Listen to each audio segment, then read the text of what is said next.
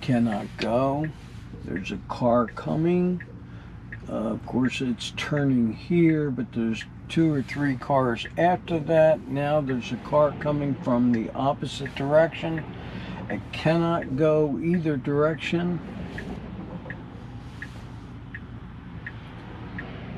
And if it's going, it needs to go right now because there's a car right there. Can see it cut it close, but it did get out of the way and accelerated afterwards. But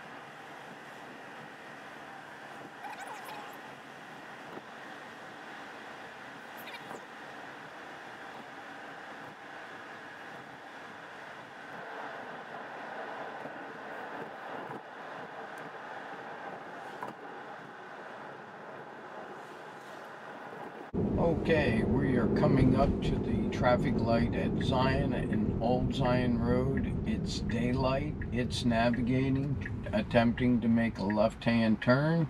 It's driving. This is version uh, 10.69.25 and you can see it was just gonna go.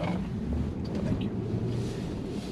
And yeah, the light changed after that, but it was going and I have no idea why it does it. It does not attempt to do this in at uh, night, only during the day.